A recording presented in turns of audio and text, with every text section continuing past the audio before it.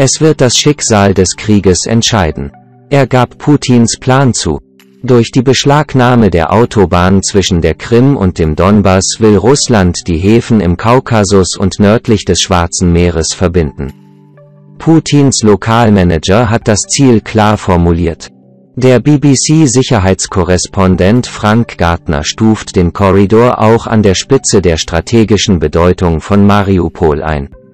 Wenn die Russen glauben, diesen Krieg erfolgreich beendet zu haben, werden sie eine Landbrücke von Russland zur Krim fertiggestellt haben, sagt der britische General General Behrens.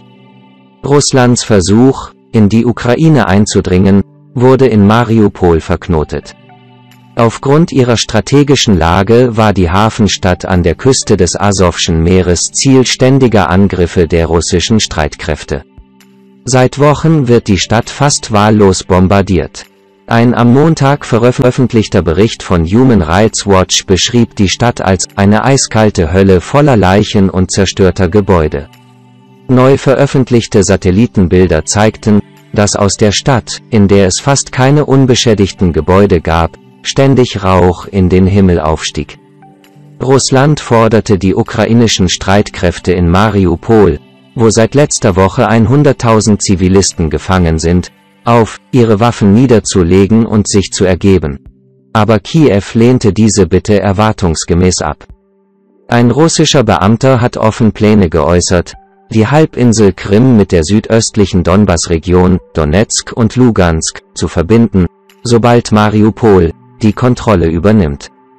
Kirill Stepanov ist Berater des südlichen Föderationskreises Russlands, zu dem auch die Krim gehört, die Russland 2014 annektiert hat. Die Kontrolle über die Autobahn von der Krim nach Mariupol wird die Halbinsel mit einem sicheren Transportkorridor mit dem Donbass verbinden, sagte der Beamte den russischen Medien RIA Novosti. Stepanov merkt an, dass dieser Korridor und die Gebiete, die die Halbinsel Krim mit dem Festland verbinden, eine Übergangszone bilden werden. Nach Angaben des russischen Beamten wird der Korridor den Kaukasus, die Häfen an der Nordküste des Schwarzen Meeres und die Industriezentren der von Russland besetzten Gebiete Donetsk und Lugansk verbinden. BBC-Sicherheitskorrespondent Frank Gardner berichtet, dass es vier Hauptgründe gibt, warum der russische Führer Wladimir Putin Mariupol so sehr will, und stellt den fraglichen Korridor an erster Stelle. 1. Sicherung eines Landkorridors zwischen der Krim und dem Donbass. Geografisch nimmt die Stadt Mariupol ein kleines Gebiet auf der Karte ein. Aber sie steht den russischen Streitkräften im Weg, die von der Halbinsel Krim aus mobilisieren. Diese Kräfte wollen nach Nordosten vordringen, um pro-russische Separatisten in der Donbass-Region in der Ostukraine anzugreifen.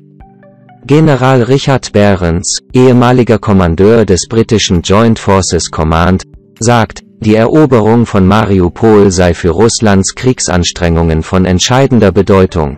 Wenn die Russen das Gefühl haben, diesen Krieg erfolgreich beendet zu haben, werden sie eine Landbrücke von Russland zur Krim fertiggestellt haben, und sie werden dies als eine große strategische Errungenschaft betrachten. Wenn Mariupol erobert wird, hat Russland auch die volle Kontrolle über mehr als 80 Prozent der ukrainischen Schwarzmeerküste erlangt, den Seehandel abgeschnitten und es weiter von der Welt isoliert. Die Ukrainer, die die Stadt verteidigen, haben es geschafft, eine große Anzahl russischer Soldaten zu beschäftigen, indem sie den vorrückenden Streitkräften in den letzten drei Wochen Widerstand geleistet haben. Russische Kommandeure konnten die Stadt nicht schnell erobern und wandten sich einer Version des 21. Jahrhunderts der alten Belagerungstaktik zu. Sie überschütteten Mariupol mit Artillerie, Raketen und Flugkörpern. Mehr als 90 Prozent der Stadt wurden beschädigt. Sie sperren auch den Zugang zu Strom, Heizung, sauberem Wasser, Nahrung und medizinischer Versorgung. Sie haben eine von Menschen verursachte humanitäre Katastrophe geschaffen. Moskau beschuldigt die Ukraine, sich bis zum 21. März um 5 Uhr nicht ergeben zu haben. Ein ukrainischer Gesetzgeber beschuldigte Russland, durch Aushungern versucht zu haben, Mariupol einzunehmen.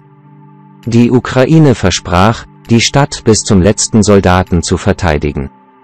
Das mag tatsächlich so sein. Russische Truppen rücken langsam in Richtung Zentrum vor.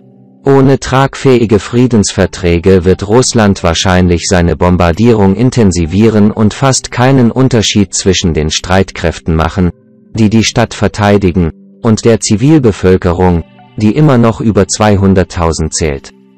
Wenn Russland die Kontrolle über Mariupol übernimmt, kann es seine fast 6000 Soldaten, die in taktischen Gruppen von 1000 Mann Bataillone organisiert sind, einsetzen, um andere russische Fronten rund um die Ukraine zu stärken.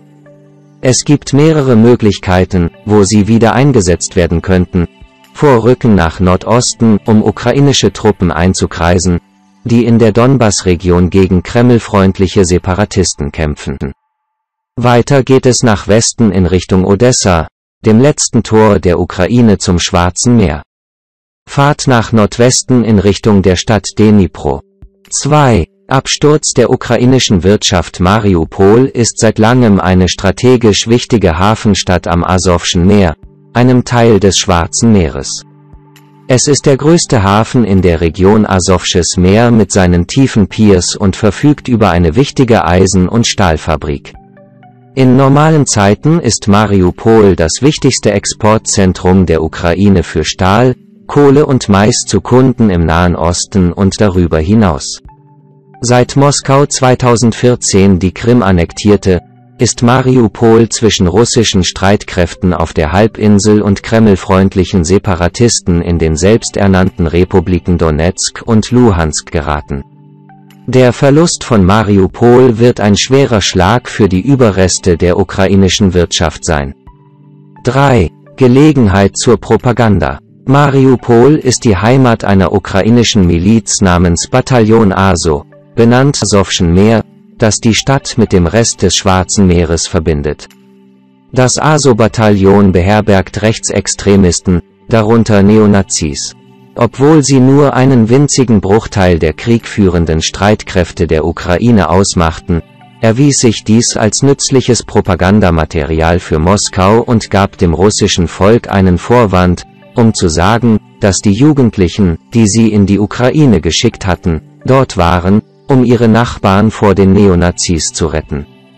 Wenn es Russland gelingt, eine beträchtliche Anzahl von Kämpfern des Asowschen Bataillons Leben zu nehmen, werden sie in den staatlich kontrollierten russischen Medien als Teil eines andauernden Informationskrieges zur Diskreditierung der Ukraine und ihrer Regierung umfassend behandelt. 4. Enormer Moralschub. Russlands Eroberung von Mariupol wird für beide Seiten in diesem Krieg von psychologischer Bedeutung sein. Bedeutung sein.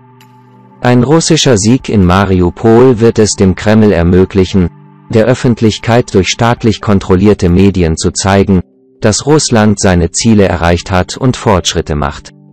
Für den russischen Präsidenten Wladimir Putin scheint dieser Krieg persönlich zu sein, und all dies hat historische Bedeutung. Putin sieht die Schwarzmeerküste der Ukraine als Novorossiya, Neurussland, russisches Territorium, das auf das russische Reich im 18. Jahrhundert zurückgeht. Putin will dieses Konzept als Rettung der Russen vor der Verfolgung einer pro-westlichen Regierung in Kiew wiederbeleben. Mariupol steht diesem Ziel derzeit noch im Wege. Aber für die Ukrainer wäre der Verlust von Mariupol nicht nur militärlich ein schwerer Schlag, sondern auch für die Moral der Männer und Frauen, die vor Ort kämpfen und ihr Land verteidigen. Sollten die Russen es einnehmen, wäre Mariupol die erste größere Stadt, die nach dem strategisch viel weniger wichtigen Cherson unter ihre Kontrolle gebracht würde. Ein weiterer Aspekt der Moral ist die Abschreckung. Mariupol leistete großen Widerstand, aber er hatte einen hohen Preis. Die Stadt wurde dem Erdboden gleichgemacht. Es wird zusammen mit Grosny und Aleppo in die Geschichte eingehen, die Russland schließlich bombardierte, zur Kapitulation zwang und zerstörte. Von hier aus ist die Botschaft an andere ukrainische Städte klar. Wenn sie sich wie Mariupol für den Widerstand entscheiden, werden sie dasselbe Schicksal erleiden. Die Russen konnten Mariupol nicht betreten, sagt der britische General Richard Burns.